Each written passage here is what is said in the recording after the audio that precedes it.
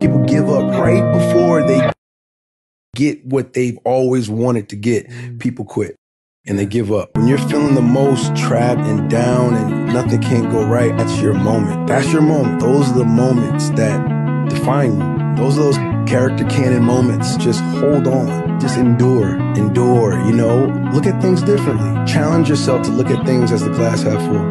Challenge yourself to think four steps ahead. Think your way through it.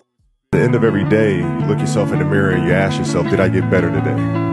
If the answer is yes, and you do that for five years, 10 years, 15 years, how much better are you going to be? Are you getting better every single day? That's the question, right? And it's just taking small steps. It's the process of getting better every day.